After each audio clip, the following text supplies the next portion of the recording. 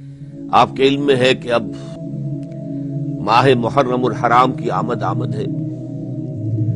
और ये जो अयाम है दिलहजा के आखिरी अयाम और मुहर्रम हराम के इब्तदाई अयाम इनमें तीन नहायत अहम वाकयात हुए हैं शहादत के।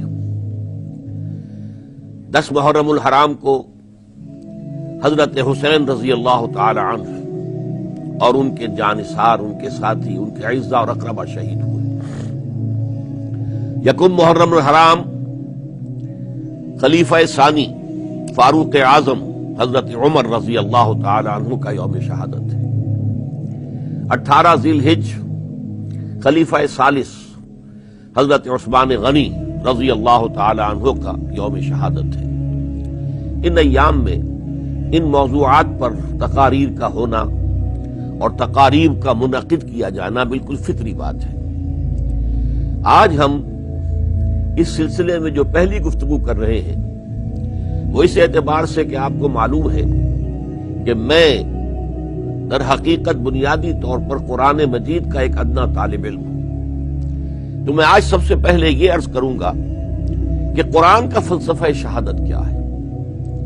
और इस शहादत के हवाले से उम्मत मुस्लिमा की गर्ज तासीस क्या है? अल्लाह ताला ने इस उम्मत को किस मकसद के लिए कायम फरमाया है?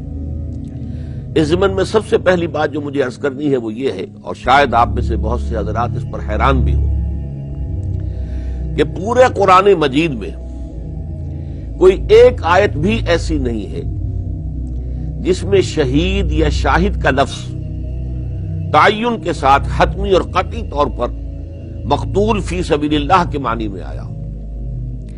आम मफहूम जो शहीद का हम लेते हैं, वो यही है कि जिसने अल्लाह की राह में जान दे दी, जिसकी गर्दन अल्लाह की राह में काट दी गई, जो अल्लाह ताला की राह में अपनी नकद हयात जो है पेश कर चुका, वो शहीद है। लेकिन जैसा कि मैंने अर्ज़ किया, ये शाहिदा शाहिदुन, शहीदा यशहदो, शाहिदुन शहीदुन ये बेशुमार मरतबा ये अल्फाज कुरान मजीद में आए हैं। कि सिवाय एक मकाम के। वो सूरह बनी इसराइल की एक आयत है। सूरह आल इमरान की एक आयत है। जिसमें इम्कान है, वहाँ भी कतई और यकीनी तौर पर नहीं, बल्कि इम्कान है कि वहाँ मानी जो है शहीद के या शुहदा के, वो मकतूल फ़ी सबिल्लाह के लिए लिए जाए।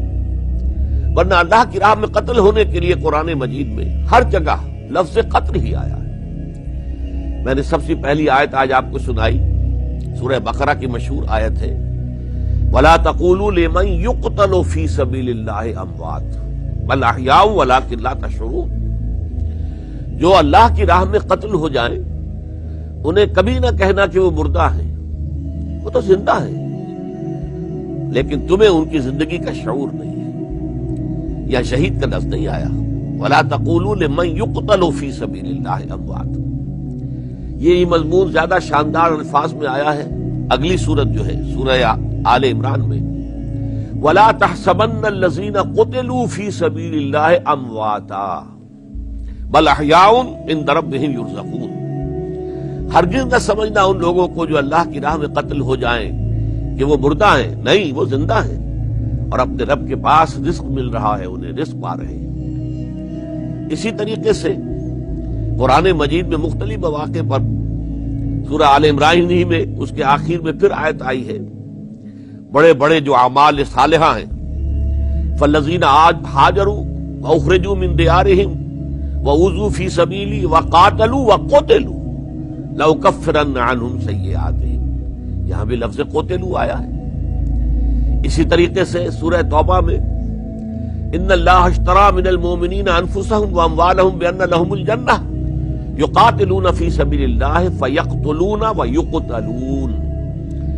की राह में जंग करते हैं तो काफिरों को कत्ल करते भी हैं और खुद भी कत्ल होते हैं तो कुरान मजीद में सिवा एक आयत के सूर्य आल इमरान ही की वो आयत है इन यमसकुम फकत मसल कौम कर कौम कर मिसलू क्योंकि कस्ब ओहद में मुसलमानों को चरका लगा, जख्म आया।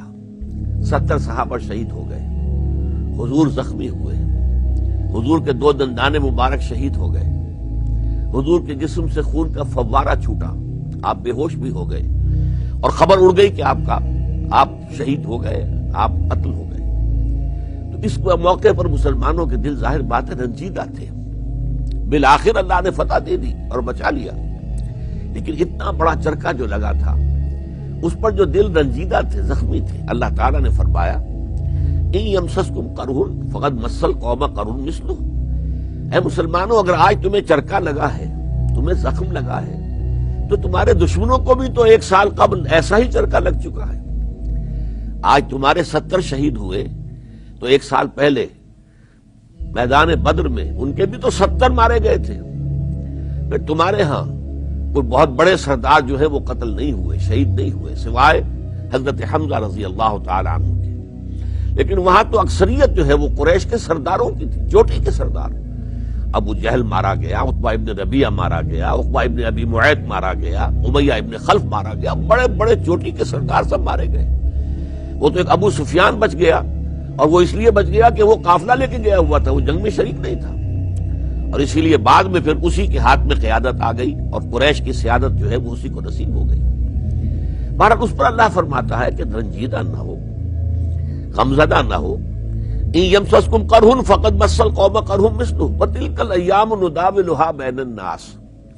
ये जो दिन है, ये हम लोगों के माबेन उलटते पलटते रहते हैं। कभी ऊंचाई है तो कभी नीचाई भी है, कभी फतह है तो कभी शिकस्त भी है। ताकि सर्द सर्दो गर्म का तजर्बा हो जाए, जिसे आप कहते हैं सर्दो गर्म चशीदा अगर अच्छे ही अच्छे हालात रहे तो फिर किरदार में पुख्तगी कहाँ से आएगी? सलामत कहाँ से आएगी? किरदार जो है और कैरेक्टर के अंदर एक आहनी कैफियत कैसे पैदा होगी? आमनू और ये इसलिए अल्लाह ताला ने तुम पर आजमाइश भेजी है ताकि एक तो अल्लाह ताला अच्छी तरह देख ले कौन हकीकी मोमिन है, जो हर हाल में साबित कदम रहते हैं, हर हाल में खड़े रहते हैं, जिनके दिलों के अंदर ईमान बहुत गहरा उतर चुका है। और तुम में से कुछ लोगों को शहीद कर, करवा ले और मरतबा शहादत के ऊपर उनको जो है फाइज करवा दे। सिर्फ़ ये एक आयत है पूरे कुरान मजीद में, जिसमें यह तखद बिनकुम शुहदा हालाँकि यहाँ भी दूसरे मानी हो सकते हैं जो मैं बाद में अर्ज़ करूँगा, लेकिन यह कि यहाँ इसका इम्कान है कि यहाँ लफ्ज शहीद से मकतूल फ़ी सबील्ला मुराद लिया जाए। अब आइए, अगर कुरान की असलाह जो है, अल्लाह की राह में गर्दन कटवा देने, अल्लाह की राह में अपनी ज़िंदगी दे देने, उसकी असलाह कुरान में शहीद नहीं है, पहले यह समझिए कि यह शहीद फिर कुरान मजीद में किस मानी में आया। देखिए, शहीदा यशहदो शाहिदुन। इसके मानी लुगत में बुनियादी तौर पर है मौजूद। शाहिद आता है गायब के मुकाबले में, शाहिद और गायब। शाहिद वो है जो मौजूद है, और जो नहीं है वो गायब है। फिर जो शाहिद होता है, वो देखता भी है क्या वाकया है, क्या हालात हो रहे हैं। लिहाजा इसमें देखने का मशहूम भी शामिल हो गया। फिर अगर कोई वो बड़ी हस्ती है तो वो अगर देख रही है तो उसमें निगरानी का मफहूम शामिल हो जाएगा। कि बड़ी शख्सियत है, वो अगर देख रही है तो वो निगरानी कर रही है। चौथे मानी, ज़ाहिर बात है, कोई हादसा है, कोई वकुआ है, कोई झगड़ा हुआ है तो जो वहाँ मौजूद होगा, वही तो आईनी गवाह होगा। लिहाजा यहाँ से गवाह के मानी में आया कि शहादत के मानी गवाही। अब ये मालूम है आपको कुरान मजीद में शहादत का निसाब दिया गया है। अगर तुम कोई मुस्तकबिल का सौदा करो, लेन देन करो तो उसको लिख लिया करो और उस पर शहीद बना लिया करो, गवाह बना लिया करो। या तो तुम में से दो मर्द हो, या अगर नहीं तो फिर एक मर्द और दो खातन तो यहाँ शहादत के मानी गवाही। और इससे भी आगे चलिए, आपका कोई दोस्त है, मददगार है, मुखलिस है, अगर आप पर कोई मुसीबत किसी जगह आ गई है, अगर वो मौजूद होगा तो मदद करेगा। लिहाजा शाहिद से मुराद मददगार के भी। अब ये मैंने चार पाँच मानी आपको बताया। बुनियादी मानी, मौजूद होना। जो मौजूद होता है, वो देखता भी है। मौजूद के लिए मैं आपको एक पुराने मजीद की आज सुना दूँ।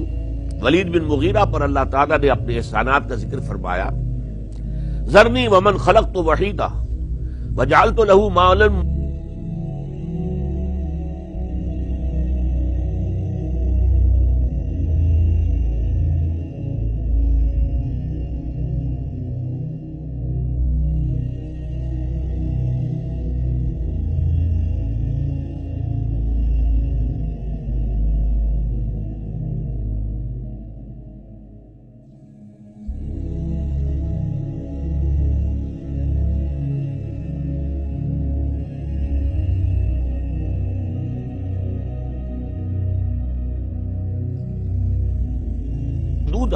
बनीना शहूदा।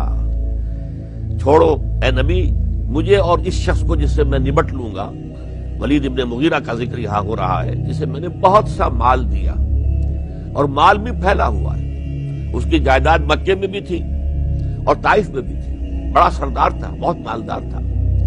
और माल के अलावा मैंने एक और एहसान उस पर किया। वो बेटे दिए जो मौजूद रहते हैं सामने। ये असल में यहाँ बनीना शहूदा में खास क्या लफ्ज है? कि एक तो ये कि अल्लाह ने किसी को बेटे दिए हैं, लेकिन वो बेटे तलाश माश में कहीं गए हुए हैं। कोई दुबई चला गया है, कोई कहीं और चला गया है, कोई अमेरिका चला गया है, और घर में जो है अब सन्नाटा है। बूढ़ा बूढ़ी रह रहे हैं तो बेटे तो दिए अल्लाह ने, लेकिन बेटे सामने मौजूद नहीं। बड़ी हसरत होती है बसा औकात मौत वाकई हो जाती है, और बच्चों का देखना नसीब नहीं होता। इसके बरक्स अल्लाह ने इतनी आसूदगी दी हो ऐसे हालात अच्छे हो कि घर में रहते हुए अल्लाह ताला रिस्क दे रहा हो। तो बेटे सामने रहेंगे, आँखों की निगाहों के सामने रहेंगे। लिहाजा फरमाया, बनीना शहूदा, हमने उसे बेटे दिए जो मौजूद रहते सामने। इसी तरीके से शहूद के मानी देखने के जो मैंने अर्ज़ किया तो ये भी आखिरी पारे की जो सूरत है, जिसमें के वो जो अहले ईमान, जो मुवहिदीन थे, उन्हें ज़िंदा आग में जलाया गया असहाबुल उखदूद कोतल असहाबुल वो लोग के जो अहले ईमान मुवहिदीन जो है, उन्हें सता रहे थे।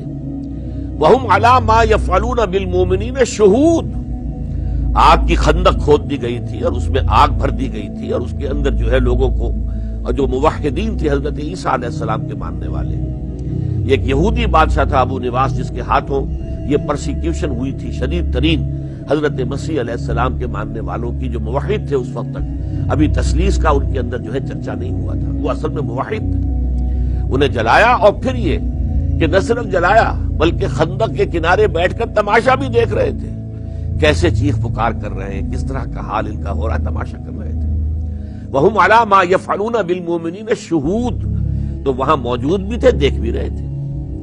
तीसरी बात मैंने आपसे अर्ज़ की, गवाही। और ये लफ्ज जो है कुरान मजीद में बहुत मरतबा आया है। ये तो मैंने अभी आपसे मिसाल भी अर्ज़ कर दी कि शहादत जो है, वो दर हकीकत अगर कोई लेन देन का मामला हो रहा है, मुस्तकबिल का सौदा हो रहा है तो उसे लिख लो फख्तमू इजा तदायन तुम बेदैन इला अजल मुसमन फख्तमू और उसके ऊपर यह है कि वस्ता शहदू शहीदैन, दो गवाह बना लो अब आइए तीसरी बात। शहादत बमानी मदद यह भी कुरान मजीद में आया। चुनाचे सूरह बकरा के तीसरे रुकू ही में है कि अल्लाह ताला ने जब चैलेंज फरमाया कि ए मुशरिको, ए काफिरो, ए कुरान का इनकार करने वालों, इन कुन तुम फ़ी रैब मिम्मा नजल्ला अला अब्देना, फातू बेसूरत मिसली वदू शुहदा तुम सादिकीन। अगर तुम्हें कोई शक है फिल वाके ये कुरान जो मोहम्मद पेश फरमा रहे हैं सल्लल्लाहु ये अल्लाह का कलाम नहीं है, बल्कि उनका अपना घड़ा हुआ कलाम है। तो तुम्हें चैलेंज है। तुम एक इस जैसी एक सूरत बनाकर ले आओ। और आपको मालूम है, सूरतें बहुत छोटी भी है। सूरतुल आसर तीन आयतों पर मुश्तमिल है। सूरतुल कौसर तीन आयतों पर मुश्तमिल है। तो तीन आयतों के हम वज़न भी कुरान जैसा कलाम बनाकर अगर ले आओ, वदू शोहदा कुम और जो तुम्हारे मददगार हैं शुरा हो, खुतबा हो उदबा हो सबको बुला लो, सबसे मदद ले लो। इन कुन तुम स्वादत अगर तुम सच्चे हो तो यहाँ शहीद के मानी मददगार। इसी तरह सूरह फतह के आखिर में फरमाया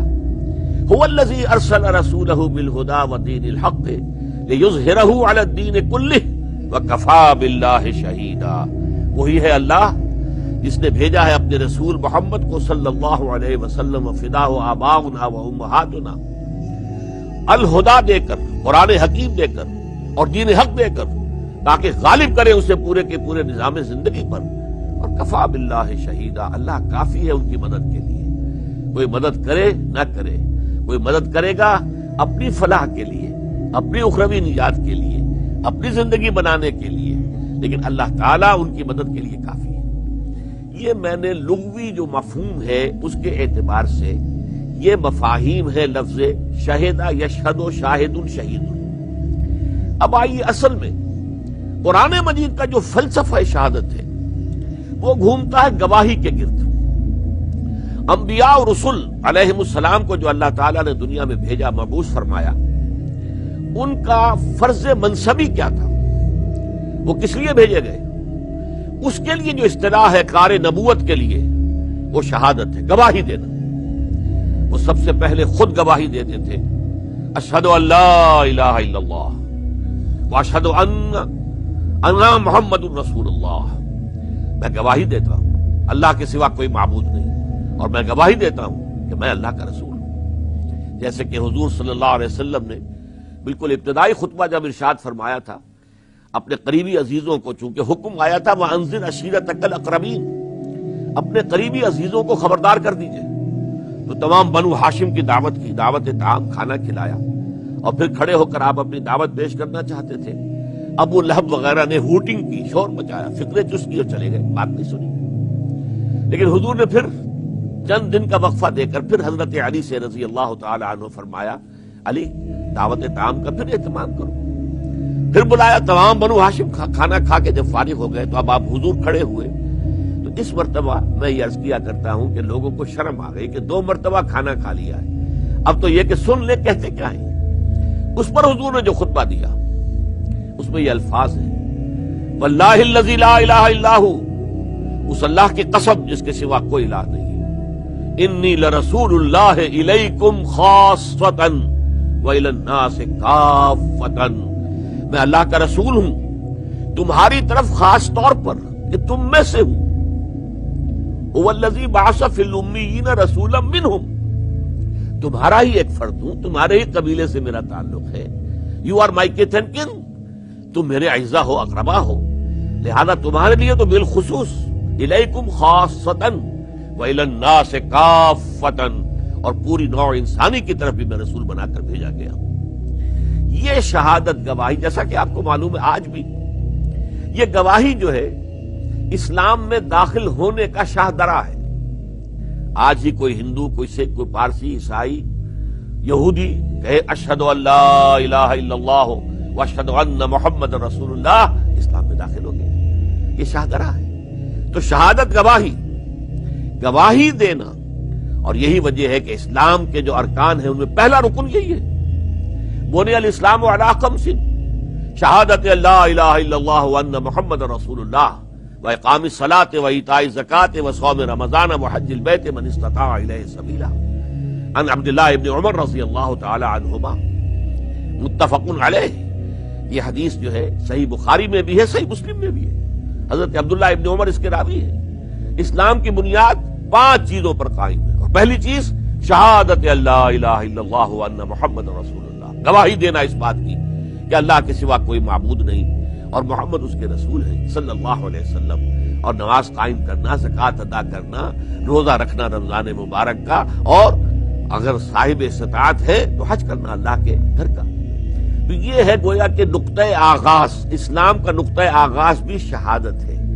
इस्लाम में दाखिले का शाहदरा दाखिल होने के लिए, जैसे दिल्ली से परे जमुना के पार शाहदरा था, लाहौर में भी, रावी से पार जो है, वो शाहदरा है। पहले शाहदरे में आप आएँगे, जो दरवाज़ा है, तभी तो शहर में दाखिल होंगे। तो ये शाहदरा है, अशहद अशहद मोहम्मद रसूल अब इससे आगे लफ्ज ये चलता है, अल्लाह का जो पैगाम आ रहा है, वो लोगों तक पहुँचा देना, ये नबी का फ़र्ज़ है, रसूल का फ़र्ज़ है। उसे हर शय की गवाही देनी है ये बात अल्लाह की तरफ़ से आ गई है, ये अल्लाह का हुक्म है, ये उसका फरमान है। ये गवाही जबान से भी देनी है, अमल से भी देनी है, कि जो कुछ मैं तुम्हें बता रहा हूँ, खुद अमल कर रहा हूँ। बार बार आप कुरान में पढ़ते हैं अव्वल मुस्लिमीन। देखो, मैं तुम्हें इस्लाम की दावत दे रहा हूँ। तो सबसे पहले इस्लाम लाने वाला मैं हूँ। सबसे पहले इतात और फर्मा बरदारी इख्तियार करने वाला मैं हूँ। अन अव्वल मोमिनीन। सबसे पहले ईमान लाने वाला मैं हूँ। आमन रसूल बिमा सबसे पहले तो हकीकत मोहम्मद ईमान लाए, उस चीज़ पर जो उन पर नाजिल की गई अल्लाह ताला की तरफ़ से। फिर अहले ईमान जो है वो ईमान लाए। तो इस एतबार से नबी जो बात कहता है, अमल में उसकी गवाही पेश करता है। ये अमली गवाही है। वरना यह है कि हमें मालूम है, बहुत से वाइस है वास बहुत अच्छा कहते हैं। अपना किरदार जो है उसके मुताबिक नहीं है। लिहाजा कोई असर नहीं होता। लोग भी जानते हैं, ये जो कुछ कह रहे हैं, सुन लो बस। बाकी ये है कि ज़ाहिर बात है कि इनकी जिंदगियों में झांकने की कोशिश न करो, मायूस हो जाओगे बददिल हो जाओगे। तो वो कह रहे हैं, अच्छी बात कह रहे हैं, सुनो, जिस हद तक अमल करने की तोफी को अमल कर लो। लेकिन यह कि रसूल का काम क्या है? कौली गवाही, फिर अमली गवाही। और जो आखिरी रसूल है मोहम्मद सल्लल्लाहु अलैहि वसल्लम, अल्लाह के।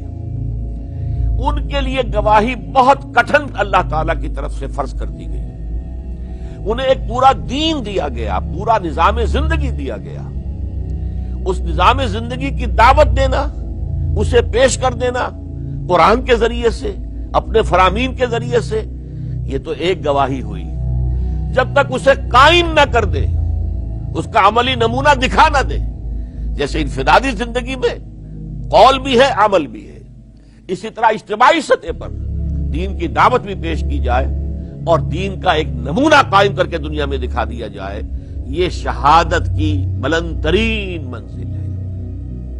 यही वजह है कि तमाम रसूलों के जिमन में ये लफ्ज जो है, बहुत जाम लफ्ज की हैसियत से आया है। सूरह मुजम्मिल में एक के सीगे में आया, वाहिद के। इन्ना अरसलना इलेकुम रसूलन शाहिदन अलैकुम। कमा अरसलना इला फिरौन रसूला। देखो, ए कुरैश, अहले अरब हमने भेज दिया है तुम्हारी तरफ़ एक रसूल जो तुम ही में से है। तुम पर गवाह बनाकर भेज दिया है। जैसे कि हमने एक रसूल अपना भेजा था फिर की तरफ़। तो शाहिद होता है रसूल। लेकिन यहाँ जरा एक नुकता और समझ लीजिए। शहादत आपको मालूम है कि किसी के हक में जाएगी तो किसी के खिलाफ। एक मुकदमा है, आप गवाह की से पेश हो रहे आपकी गवाही किसी के हक में है, किसी फरीक के या मुद्दई के हक में तो मुद्दा आलिया के खिलाफ जाएगी।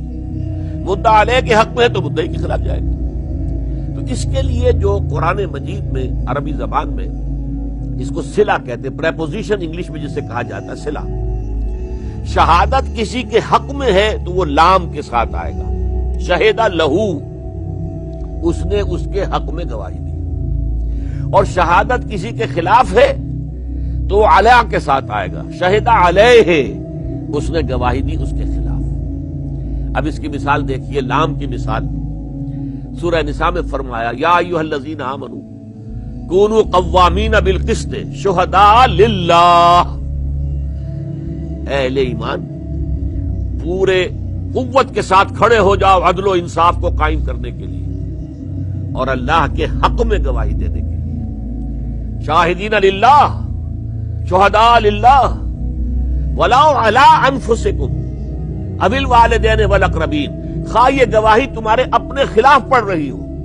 या तुम्हारे वालदेन के खिलाफ जा रही हो, या तुम्हारे कराबतदारों के खिलाफ जा रही हो। यहाँ लाम भी आ गया, आला भी आ गया। कुनू कवामीन बिलकिस्त शहदा लिल्लाह लाम आ गया। वलाओ अला अनफुसिकुम, अबिल वालदेन वल अकरबीन खा, ये गवाही तुम्हारे अपने खिलाफ, तुम्हारे वालदेन के खिलाफ, तुम्हारे खराबरदारों के खिलाफ चली जाए।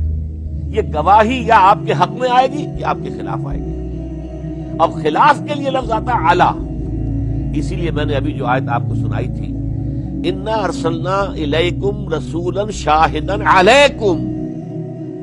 तुम्हारे खिलाफ एक गवाह हमने भेज दिया है। ये जरा बात आपको अजीब सी लगेगी कि नबी तो आते हैं लोगों को दावत देने के लिए, पैगाम पहुँचाने के लिए, और नबूवत तो रहमत है।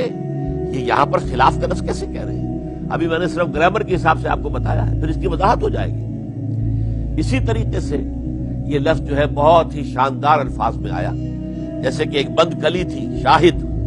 इन्ना अरसलना इलेकुम रसूलन शाहिदन अलैकुम फिर ये कली खिली, इनमें पाँच पत्तियाँ आ गई। ये सूर्य अहजाब की आयत है। या नबी हो इन्ना अरसलना का शाहिदन व मुबशरन व नजीरन। ही नबी, हमने आपको भेजा है शाहिद बनाकर, गवाह बनाकर। और मुबशिर बनाकर, बशारत देने वाला। जो सीधे रास्ते पर आ जाएगा, उसके लिए जन्नत है। रोहन व रेहान व जन्नत और नजीर बनाकर, कि जो इस गलत रास्ते पर चलेगा, उसके लिए जहन्नम है, अजाब है। वह दायन बेजन ही और अल्लाह के हुक्म से अल्लाह की तरफ़ दावत देने वाला बनाकर सिराजम मुनीरा, और हिदायत का एक रोशन चिराग बनाकर लेकिन इससे आगे आइए अब। ये शहादत जो है, ये जब दुनिया में दी जाती है तो मैंने अर्ज़ किया, दावत, तबलीग, इंजार, तबशीर, इन सबको जमा कर लीजिए तो लफ्ज शहादत बनता है। लेकिन शहादत आला का नज़र कब होगा? जब कयामत के दिन सूर्य निशा के अंदर नक्शा खींचा गया। फ़ैज़ा बेका शहीदा उस दिन क्या बीतेगी क्या हाल होगा क्या कयामत सोगरा तुम पर आ जाएगी जबकि हम हर उम्मत में से एक शहीद को खड़ा करेंगे और ए नबी आपको लाएँगे इनके खिलाफ शहीद बनाकर इसका क्या मतलब है दुनिया में दावत देना इंजार, तबशीर, तजकीर, वाज, नसीहत, तालीम, तरबियत, तजकिया, ये सब शहादत। और दुनिया की आखिरत में जो शहादत होगी, वो क्या होगी? असल में आखिरत में मुहासब उखरवी जो है, उसके दो मरहले हैं। पहले मरहले में इज्तमाही तौर पर उम्मतों का मुहासबा होगा। दूसरे मरहलों में फिर एक एक फर्द का अलहदा अलहदा मुहासबा होगा। वह कुल्लुम आती है यौमल क्यामत फरदा। पहले उम्मतों को खड़ा किया जाएगा। और उनकी तरफ़ जो रसूल, जो शाहिद थे उन पर, जिन्होंने दावत और तबलीग का हक अदा किया था इतना में हुज्जत कर दिया था, वो खड़े होंगे अल्लाह की अदालत में। और उसके लिए सही इस्तेलाह होगी प्रोसिक्यूशन विटनेस वो गवाह के जो इल्ज़ाम लगाने वाला प्रोसिक्यूशन ये दर हकीकत ये गवाह जो है, वो नबी होगा, रसूल होगा जो उस कौम की तरफ़ भेजा गया। और वो रसूल होकर पहले टेस्टिफाई करेगा, गवाही देगा। अल्लाह, तेरा जो पैगाम मुझ तक आया था, मैंने इस कौम को पहुँचा दिया था। ये ये नहीं कह सकते। दे कांट प्लीड इग्नोरेंस ये नहीं कह सकते कि हमें मालूम नहीं। हमें बताया नहीं गया। ये नहीं कह सकते। मैंने पहुँचा दिया था। और उसके बाद फिर सवाल किया जाएगा अच्छा अब लोगों, अगर तुम्हें यह पैगाम पहुँच गया था तो तुम्हारा तर्ज अमल क्या था? तो यहाँ पर वो शहादत अब खिलाफ पड़ेगी। वरना तो सूरत यह है कि इंसान ये कह सकता था, उज्र पेश कर सकता था अल्लाह, हम तक तूने पैगाम तो पहुँचाया ही नहीं तेरी शरीयत हम तक पहुंचाई नहीं गई। अब मुहासमा कैसा? हमें मालूम ही नहीं हुआ कि शराब हराम है। हमें बताया नहीं गया कि शराब हराम है। तो हम पीते रहे तो उस पर सजा कैसी? हमें तो बताया ही नहीं गया कि सूद हराम है। अगर हम सूद खाते रहे तो उसके ऊपर सजा कैसी? ये उज्र, ये हुज्जत, ये दलील खत्म हो जाती है जबकि रसूल खड़े होकर गवाही देंगे। बनी इसराइल पर हज़रत मूसा खड़े हो जाएँगे। अल्लाह, तेरा जो पैगाम आया था मुझ तक, मैंने इन तक पहुँचा दिया था। बिला कबो कास्ट, मैंने कोई कमी नहीं की। यह भी जान लीजिए, ये मनसब इतना नाजुक है कि कुरान मजीद में, सूरह मायदा में खुद हुजूर से खिताब करके यूँ समझिए कि जरा एक अंदाज जो है वो जरा सख्ती वाला अंदाज है। बजाहिर सख्ती। या युहर रसूल, बल्लिग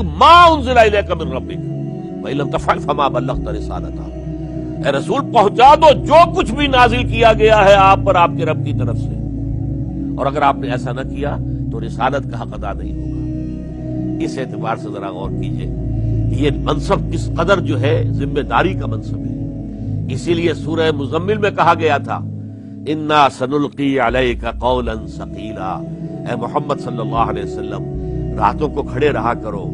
दो तिहाई रात, आधी रात, तिहाई रात कम से कम। वरतिल कुरान तरतीला, कुरान को थोड़ा थोड़ा थोड़ा थोड़ा करके पढ़ते रहा करो। ठहर ठहर कर, गौर करते हुए इस कुरान को अपने अंदर उतार लो। हैमर इट डाउन, ताकि वो कुत रूहानी पैदा हो जाए, जो एक अजीम मिशन जो आपके हवाले किया जाने वाला है। इन्ना सनुल्की आलय का कौलन सकीला, हम एक बहुत भारी बात आप पर डालने वाले हैं। इस बिगड़ी हुई कौम तक ये पैगाम हक पहुंचाना आसान काम नहीं है। इस्तेजा होगा, तमस्कुर होगा, कोई कहेगा पागल हो गए, मजनून है। कोई इनका दिमागी तवाजुन खराब हो गया है, कोई जिन इन पर आया है, कोई साया आ गया है, शायर है, साहिर है मसरूर है। यहाँ तक कि कज्जाब का लफ्ज भी आया पुराने मजीद में कि उन्होंने कहा। ये सारी बातें झेलनी पड़ेगी।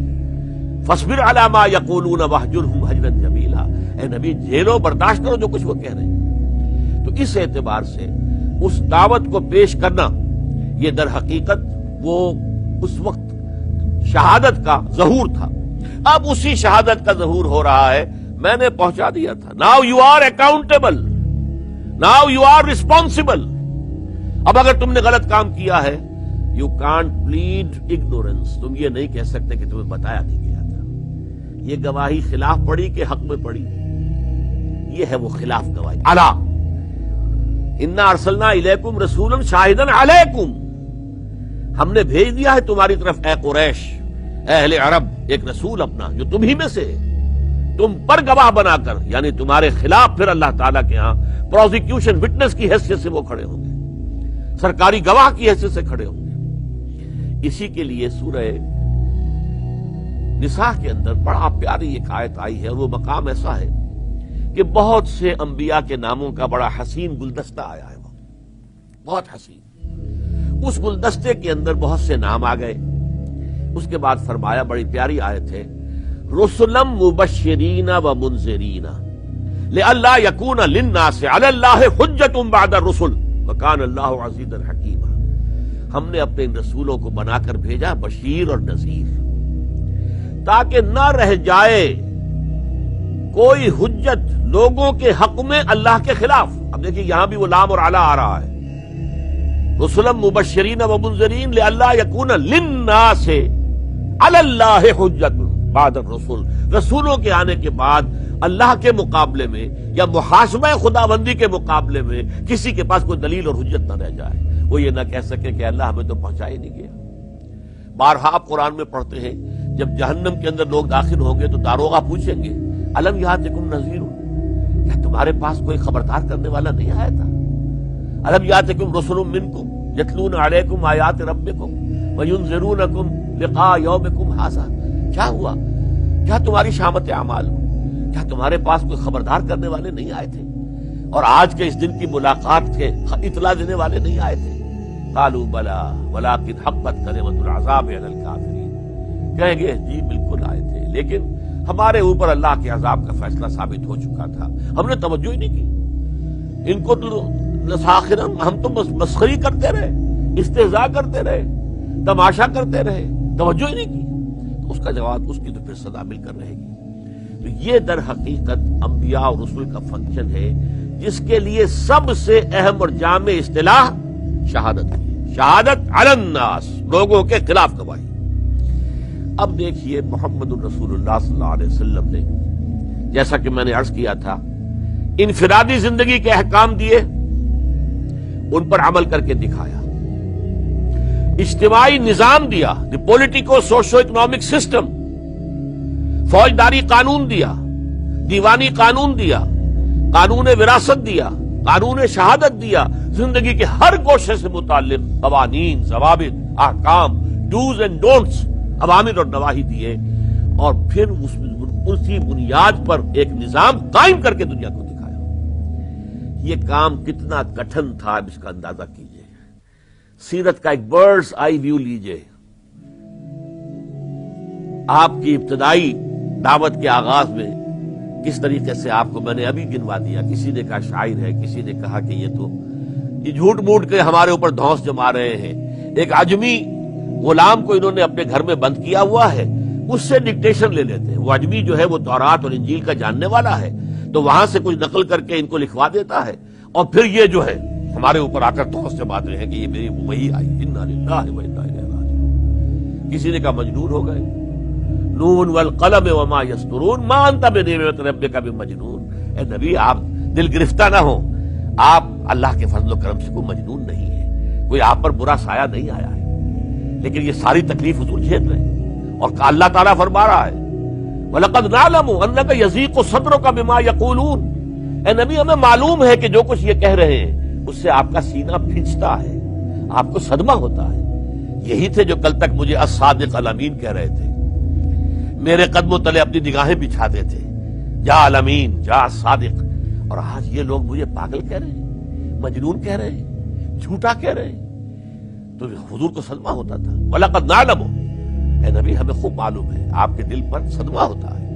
अंदर का यजीक को सदरों का बिमा यकूलून। लेकिन साथ ही फरमाया, फसबिर अलामा यकूलून वाहजुरहुम हज़रत जब सब्र कीजिए, झेलिए। फिर हुजूर पर जो ईमान ले आए, उन पर जो मसाइब के पहाड़ टूटे। हज़रत बिलाल पर क्या बीती? मेरे पास वक्त नहीं है कि मैं बयान करूँ। खब्बाब रज़ी अल्लाह तु पर क्या बीती? हज़रत सुमैया और हज़रत यासिर पर क्या बीती? बदतरीन टॉर्चर के बाद अबू जहल ने दोनों को शहीद कर दिया। मियाँ बीवी, हज़रत यासिर और हज़रत सुमैया रज़ी अल्लाह तुमा तो अब ये लोग, जिन्होंने इस कार रिसालत में हुजूर का साथ दिया, शहादत अलनास की ज़िम्मेदारी में हुजूर के आवान अंसार बन गए। इनमें से जिन्होंने अपनी जान दे दी इस काम के लिए अब वो मुस्तक हो गए सद फ़ीसद कि उन्हें अल्लाह का गवाह करार दिया जाए। लिहाजा उनके लिए लफ्ज शहीद इस्तेमाल हुआ। ये वहाँ से चलकर शहीद कहाँ तक आया? कि अल्लाह ताला की, इस अल्लाह ताला की तरफ़ से नबूत और रिसालत की ज़िम्मेदारी जो अंबिया और रसुल के कंधों पर आई, उसको अदा करने में वो खुद भी शहीद थे, शाहिद थे, गवाह थे, लेकिन उनके साथ जिन्होंने भी तन मन, धन से उनकी मदद की है। और वो मदद इस हद तक पहुँच गई कि उन्होंने अपनी जान का नजराना भी पेश कर दिया। वो अशहीद, ये गवाह बन गए। अल्लाह की गवाही का। मुझे अलामा इकबाल के दो शेर याद आ रहे हैं, बहुत खूबसूरत शेर है। मकाम बंदगी दीगर, मकाम आशकी दीगर। बंदगी का दर्जा कुछ और है, आशकी का दर्जा कुछ और है। नूरी सजदा मी खाही नूरी मखलूक यानी मलायका फरिश्ते। उनसे तो सिर्फ़ सजदा और रुकू और खड़े होना और तस्वीर हो तहमीद। नानो नुसब हो बेहमद का वनुकद सुलग अल्लाह तुझे यही चाहिए। किसी फरिश्ते ने गर्दन तो नहीं कटवाई तेरे लिए। किसी फरिश्ते ने जान तो नहीं दी। तो नूरी सजदा मी खाही से खाकी, बेशदा खाही ये खाकी इंसान, इससे तू उससे ज़्यादा तकाजा करता है। वो तकाजा क्या है? अगरचे तू बेनियाज है, और तुझे किसी की कोई परवाह नहीं है। लेकिन तू चाहता है शहादत बर वजूद खुद से खूने दोस्ता अपने दोस्तों, अपने आशिकों, अपने मानने वालों के खून से चाहता है कि गवाही दे वो कि ला मोहम्मद शहादत बर वजूद खुद से खूने दोस्ता खाई तो जिन्होंने अपनी गर्दनें कटवा दी, जाने दे दी, वो शहीद हुए। इस पहलू से सबसे बड़े शहीद, सबसे पहले शहीद, वो मक्के ही में जो शहीद कर दिए गए, हज़रत सुमैया और हज़रत यासिर है रज़ी अल्लाह बदतरीन प्रोसिक्यूशन तफसील में मैं नहीं जा सकता। फिर आपको मालूम है, मदीने की हिजरत के बाद गजवा बदर में चौदह सहाबा ने जाम शहादत गजवा ओहद में सत्तर साहबा ने जाम शहादत हुजूर की हयात तैयबा में जो गजवात हुए हैं, उनमें ढाई सौ से जायद साहबा किराम ने जाम शहादत नोश किया है। और गजवा ओहद के बारे में आपको मालूम है कि उसमें हज़रत हमजा रज़ी अल्लाह तन जिनके साथ हजूर के तेहरे रिश्ते थे। एक रिश्ता सबको मालूम है, चचा भतीजे का। एक रिश्ता यह है कि खालाजाद भाई थे। एक रिश्ता यह कि दूध शरीक भाई थे। एक ही लौंडी का दूध पिया था दोनों ने। और एक रिश्ता यह कि बचपन से साथ खेलने वाले हम जोली थे। और सबसे बड़ी बात यह कि असदुल्लाह व असद रसूल ही थे। अल्लाह के शेर और अल्लाह के रसूल के शेर। इसीलिए हुजूर ने खिताब दिया सैयदुलशहदाय हमजा। इन शहीदों के सरदार, वो हज़रत हमजा है रज़ी आपको मालूम है कि सत्तर साहबा जो कि असहाब सुफा में से थे, उन्हें धोखा देकर ले जाया गया। कुछ कबीले को लोग आए, हम चाहते ईमान लाना, आप अपने कुछ आदमी दीजिए जो हमें तबलीग और तलकीन करें, तालीम दें, इस्लाम क्या है? असाब सुफा में सत्तर को ले गए और फिर जाकर घेर कर एक जगह पर सबको जिबा कर दिया, सिर्फ़ एक सहाबी बचकर निकले थे। हुआ है। तो ये दर हकीकत यूँ समझिए कि ये सीरत नबवी सीरत सहाबा ये पूरा एक चमन है शहादतों के साथ। हर गोशे के अंदर शहादत का एक से एक बड़ा जो है फूल खिला हुआ है। और उस शहादतों की वजह से ही तो फिर दीन गालिब हुआ है ना। और आप सोचिए ये जो मैंने कहा ढाई सौ से ज़्यादा शहीद हुए, इनमें से एक एक की जान की कीमत, हम जैसे लाखों की जान की कीमतों से ज़्यादा है। इन्होंने जाने दी है। खुद हजूर वसल्लम, हालाँकि हजूर की मैंने आपको हदीस सुनाई हजूर ने फरमाया लवदित तो अन उक्तला फ़ी सबीलिल्लाह। सुम्मा हुआ सुम्मा उक्तला, सुम्मा हुआ सुम्मा उक्तला। मेरी बड़ी शदीद ख्वाहिश है कि मैं अल्लाह की राह में कत्ल कर दिया जाऊँ। लेकिन फिर मुझे ज़िंदा किया जाए। फिर कत्ल किया जाऊँ, ताकि अल्लाह की राह में मकतूल होने की लज्जत मुझे दोबारा हासिल हो जाए। फिर मुझे ज़िंदा किया जाए, फिर मैं कत्ल किया जाऊँ। ये शदीद तरीन ख्वाहिश मोहम्मद रसूलुल्लाह की। लेकिन ये एक ही ख्वाहिश है हजूर की, जो अल्लाह ने पूरी नहीं की। और क्यों नहीं की जान लीजिए। अल्लाह का ये कायदा और कानून है, हमेशा से चला आ रहा है। रसूल ना मगलूब हो सकता है, ना कत्ल हो सकता है। रसूल नबी कत्ल हो सकते हैं। हज़रत याहिया नबी थे, रसूल नहीं थे, कत्ल हो गए। हज़रत जक्रिया नबी थे, रसूल नहीं थे, कत्ल हो गए। हज़रत ईसा रसूल थे, कत्ल नहीं हो सकते थे। वो सूरी चढ़ा कोई और शख्स, हज़रत ईसा को तो अल्लाह ताला ने ज़िंदा आसमान पर उठा लिया और वो दोबारा आएँगे। और अब उनकी आमद सानी ज़्यादा दूर नहीं है। इसलिए कि अब हम यूँ समझ लीजिए, इस दुनिया की जो ज़िंदगी है, उसके आखिरी अयाम तक पहुँच रहे हैं। पूरे यूरोप के अंदर भी कहा जा रहा है, अमेरिका में कहा जा रहा है we are living in the end times आखिरी जमाना है अब आखिरी दौर है नौ इंसानी का। बहरहाल हज़रत ईसा कत्ल नहीं हो सकते। हज़रत मोहम्मद कतल नहीं हो सकते थे सल्लल्लाहु अलैहि वसल्लम। इसलिए कि कुरान मजीद में एक से जायद मरतबा आया है कि हमने ये तय कर दिया कि हम और हमारे रसूल ये तो लाजमन गालिब आकर रहेंगे। और इनको मगलूब होने का सवाल ही नहीं। हाँ नबी जो रसूल नहीं है। अब इस बहस में मैं नहीं जा सकता कि नबी और रसूल का फ़र्क क्या है। एक बात सब मानते हैं कि नबी आम है, रसूल खास है। हर रसूल तो नबी है, हर नबी रसूल नहीं है। और कहा जाता है रिवायात के अंदर कि नबियों की तादाद तो सवा लाख के करीब है, जबकि रसूल तीन सौ तेरह है। तो रसूल जो है, हजूर ने फरमाया, मुझे बड़ी ख्वाहिश है कि मैं कत्ल हो जाऊँ अल्लाह की राह में। और फिर मुझे ज़िंदा किया जाए, फिर मैं कत्ल हो जाऊँ, फिर ज़िंदा किया जाए, फिर कत्ल हो जाऊँ। इस एतबार से आप नोट कीजिए कि ये जो सहाबा किराम का का जो चमन है मोहम्मद रसूलुल्लाह का लगाया हुआ बाग है, एक एक सहाबी दर हकीकत, उस बाग रिसालत का एक पौधा है, खूबसूरत पौधा है। फलदार है, फूलदार है। इसमें कितने लोगों ने शहादत जो है वो हासिल की, मरतबे पर फाइज हुए। और तब जाकर जाल हक वजहकल बातिल बातिल का हक आ गया, बातिल दफ़ा हो गया। और बातिल तो है ही दफ़ा हो जाने से पूरे जजा जजीरा नुमा अरब पर अल्लाह का दीन गालिब। अल्लाह की हुकूमत, अल्लाह का कानून, अल्लाह की शरीयत नाफिस। अल्लाह के कानून के मुताबिक फैसले अदालतों के अंदर हो रहे हैं। अल्लाह के कानून के मुताबिक विरासत तकसीम हो रही है। सारा निज़ाम कायम कर दिया, इतमाम हुज्जत कर दिया। लेकिन अब अगला मरहला आया। पहली बात जान लीजिए, मैंने हुजूर के अवलीन खुतबे के हवाले से भी आपसे कहा, और वैसे भी हम जानते हैं, सब जानते हैं, सिर्फ़ जहन में ताज़ा कर लीजिए, हुजूर सिर्फ़ अरब के लिए नहीं भेजे गए थे, पूरी दुनिया के लिए। तमाम आलम इंसानियत के लिए। इसमें वो मैंने जो खुतबा सुनाया था, वल्लाहू इन्नी रसूल खास काफतन मैं अल्लाह का रसूल हूँ, तुम्हारी तरफ़ खास तौर पर और पूरी नौ इंसानी की तरफ़ आम तौर पर। इसी की आयत के अंदर है कुरान मजीद में ममार सल्ला का इल्ला काफतल्लिन्ना से बशीरम व नसीरा। हमने नहीं भेजा है मोहम्मद आपको सल्लल्लाहु अलैहि वसल्लम। व फिदा हो आबाओ ना व उम्महातुना। मगर पूरी नौ इंसानी की तरफ़ बशीर और नजीर बनाकर।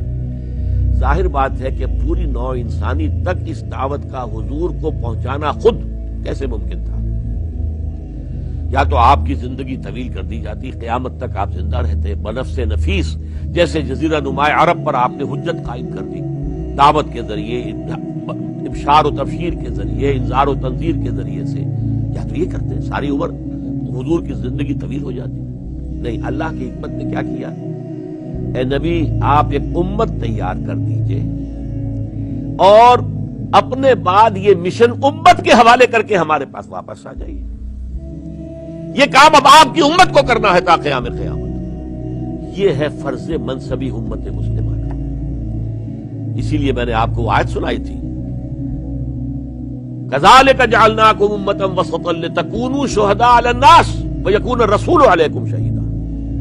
इसी तरह हमने तुम्हें एक दरमियानी उम्मत बनाया है, बेहतरीन उम्मत बनाया है, ताकि तुम पूरी नौ इंसानी पर गवाही दे सको और अल्लाह के रसूल तुम पर गवाही दे सके। कयामत के दिन अल्लाह का रसूल खड़ा होकर कहेगा अल्लाह, एक गवाही देंगे काफिरों और मुश्रिकों के खिलाफ। अल्लाह, मैंने इन्हें पहुँचा दिया था दीन। इन बदबख्तों ने इसके बावजूद कबूल नहीं ये रिस्पॉन्सिबल है, जवाबदेह है अकाउंटेबल है, और ये मस्तौजब सजा है। और अल्लाह, मैंने अपनी उम्मत को ये ज़िम्मेदारी सौंप दी थी कि मेरे बाद तुम्हें यह काम जारी रखना है ताकयाम क्यामत उसका मैं एक नक्शा आपके सामने खींच देना चाहता हूँ। जब तेईस बरस की मेहनत शाख का के बाद, तेईस बरस की मेहनत शाख का ये तो सीरत नबी का बर्ड आई व्यू भी हो। हमारे यहाँ आमतौर पर सीरत की तकारीर में यह तो कहा जाता है कि हुसन यूसुफ दम ईसा यद बैजादारी आंचे खूबा हमदारन तो तनहादारी और यह सद फ़ीसद सही है कि नबी, आपको अल्लाह ने हज़रत यूसुफ का हुसन दिया। हज़रत ईसा के सांस के अंदर, दमे ईसा, जो तासीर थी वो अता फरमाई। हज़रत मूसा के हाथ के अंदर जबकि वो चमक उठता था, वो तासीर अता फरमाई। सब कुछ दिया। जो तमाम लोगों को, जो खैरात व भलाइयाँ मिली हैं और कमालात नसीब हुए हैं, वो सारे आपकी जात में जमा है। सच सही है, लेकिन हुजूर ये भी फरमाते हैं, लोगों, तमाम अंबिया और रसुल ने जो तकलीफें बर्दाश्त की हैं, मैंने तलहा वो सारी बर्दाश्त की इसको हम नहीं देखते। सीरत का मुताला इस एतबार से होना चाहिए। तो ये जो तेईस बरस है, सन 610 से लेकर और 632 ईस्वी तक, वही का आगाज़ हुआ 610 में। और आपका इंतकाल और विशाल हुआ 632 में। तो ये 22 बरस बनते हैं शमसी हिसाब से। कमरी हिसाब से 23 बरस बन जाते हैं वरना ये 22 बरस है। हमारा जो भी आम यू, यूसेज है उसके एतबार से। तो उसमें जो फिर हजरतुलविदा पर में आपने जो खुतबा दिया अपनी दावत अपने पैगाम के कुछ अहम निकात दोबारा आपने बयान किए। उसके बाद एक सवाल किया तस्वुर से चश्मे तस्वुर से देखिए। अरफात का मैदान है। मोहम्मद रसूलुल्लाह खुतबा दे रहे हैं। सवा लाख मुसलमान जमा है। सवा लाख। कोई लाउड स्पीकर नहीं है। हुजूर एक एक लफ्ज तीन तीन मरतबा कहते हैं। इधर रुख करके कहा, फिर सामने रुख करके कहा, फिर इधर रुख करके कहा। और फिर कुछ कुछ फासले पर लोग खड़े हैं। फिर वो अल्फाज दोहराते हैं। आखिरी आपने एक सवाल किया बल्लग तो लोगों मैंने पहुँचा दिया या नहीं? जवाब क्या मिला?